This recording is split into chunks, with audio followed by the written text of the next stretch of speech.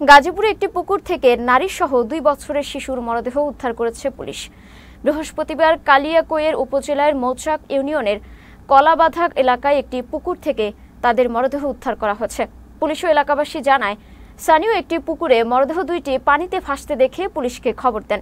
খবর পেয়ে পুলিশ ঘটনাস্থল থেকে লাশ দুটি উদ্ধার করে। এ ঘটনায় এখনও লাশের পরিচয় শনাক্ত করা যায়নি।